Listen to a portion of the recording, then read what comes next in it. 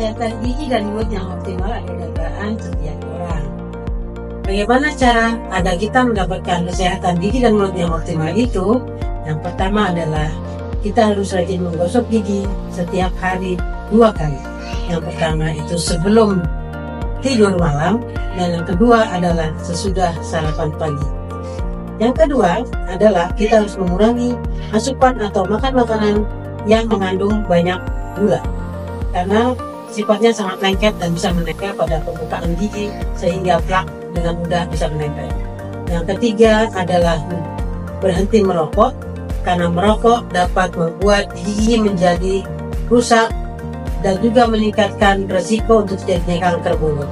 Yang keempat, rutinlah berobat ke dokter gigi 6 bulan sekali untuk melihat apakah terjadi lubang baru atau ada penyakit gusi yang terjadi. Demikian, terima kasih. Salam sehat.